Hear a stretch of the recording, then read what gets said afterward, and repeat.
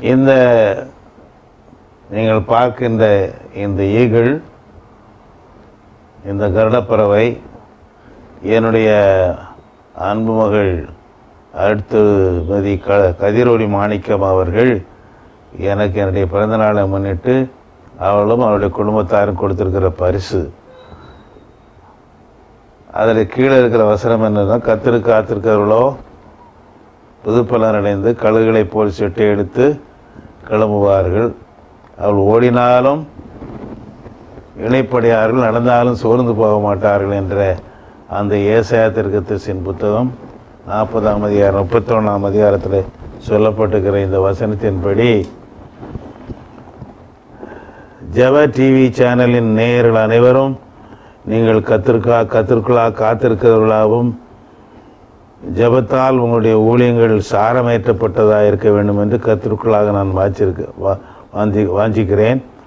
ஜப ஜெப சேனல் டிவியினுடைய ஏழாவது நிறைவாண்டு விழா நெருங்கி கொண்டிருக்கிறதை நான் பார்க்கிறேன். அநேக நேயர்களுக்கு ஆண்டவர் தர வேண்டும்.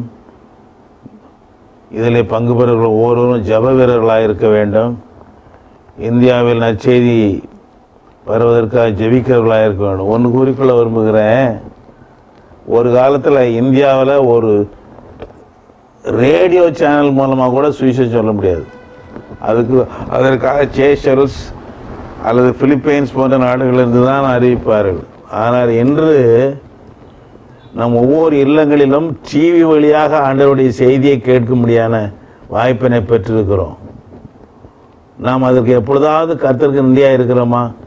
இட்ஸ் எ ஓப்பன் கண்ட்ரி சுவிசேஷத்தை அமெரிக்காவிலிருந்து அறிவித்தாலும் அது நம்ம வீட்டு சேனலில் வருகிறது.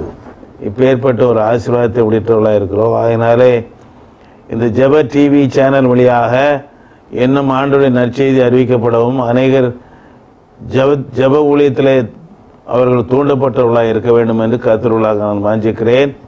அதனால் ஜெப டிவி சேனல் நேயர்கள் அனைவருக்கும் இந்த ஏழாவது ஆண்டை ஆண்டிலே கால் எடுத்து வைக்கும் இந்த டிவி சேனலுக்கு என்னுடைய வாழ்த்துக்களை தெரிவித்துக் கொள்கிறேன். கத்தர் தாமே இந்த டிவி சேனலை நடத்துகிறவர்களையும் இதில் பங்கு பெறுவர்களையும் ஆசிரியப்பாராக ஆமேன்.